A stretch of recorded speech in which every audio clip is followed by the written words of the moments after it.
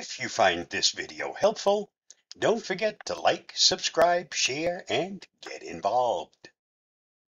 If this is happening to you, here's how to fix the problem till Microsoft releases an update.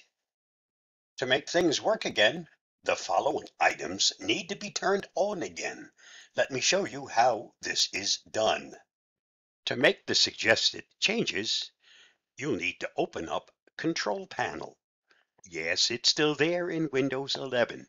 Let me show you the easiest way to open the Control Panel. Simply go to your search and type Control, and you'll notice Control Panel comes up as soon as you start typing.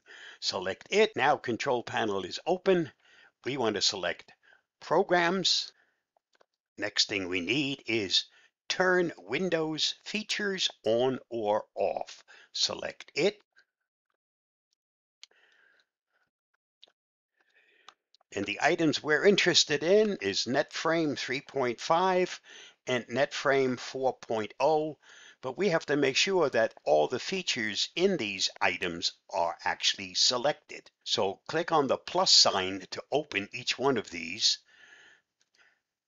And you'll notice that there are some items that are unchecked. That's the problem. So check the items and then select OK. It's now searching for the required files to turn these items back on. It's now applying the changes. This does take a few minutes to complete.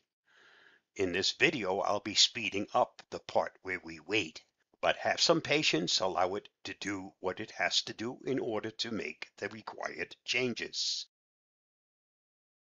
Windows completed the required changes. Close this. Although it doesn't ask for a restart, anytime you make some major changes, my suggestion is take that extra step, restart your system, and after that's all done, you should now be back in business and hopefully the next fix doesn't break something else. Now that you've made the suggested changes, things should return to normal, at least till Microsoft releases the next update. Some have suggested to remove KB5013943, but this is strongly discouraged as it will leave your system unprotected from the latest security threats addressed by this update. Stay safe, stay secure, and I'll see you again soon. Bye bye.